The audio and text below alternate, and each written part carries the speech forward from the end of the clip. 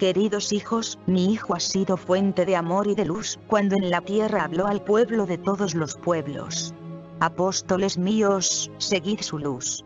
Esto no es fácil. Debéis ser pequeños, debéis aprender a seros más pequeños que los otros, y con la ayuda de la fe, llenaros de su amor.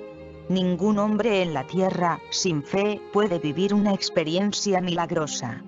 Yo estoy con vosotros. Me manifiesto a vosotros con estas venidas, con estas palabras. Deseo testimoniaros mi amor y mi preocupación maternal.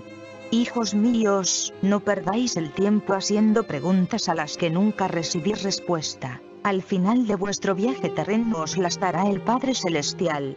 Sabed siempre que Dios lo sabe todo, Dios ve y Dios ama. Mi amadísimo Hijo ilumina las vidas y dispersa la oscuridad. Y mi amor materno, que me trae a vosotros, es indescriptible, misterioso, pero es real. Yo expreso mis sentimientos hacia vosotros amor, comprensión y afecto maternal.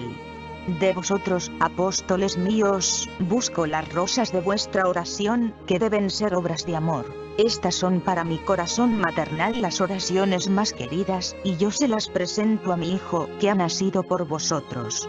Él os ve y os escucha. Nosotros siempre estamos cerca vuestro.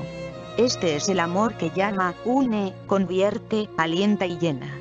Por eso, apóstoles míos, amaos siempre los unos a los otros, pero, sobre todo, ama a mi Hijo. Este es el único camino hacia la salvación y hacia la vida eterna.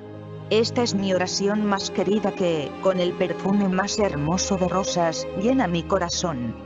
Orad, orad siempre por vuestros pastores, para que tengan la fuerza de ser la luz de mi Hijo. Os doy las gracias.